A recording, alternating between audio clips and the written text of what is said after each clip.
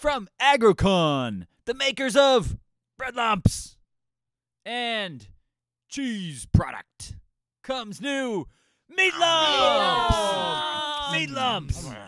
Tear into a pack of meat lumps today. Filled with salty, tasty, healthy meat product. Meat lumps. Try it with cheese product.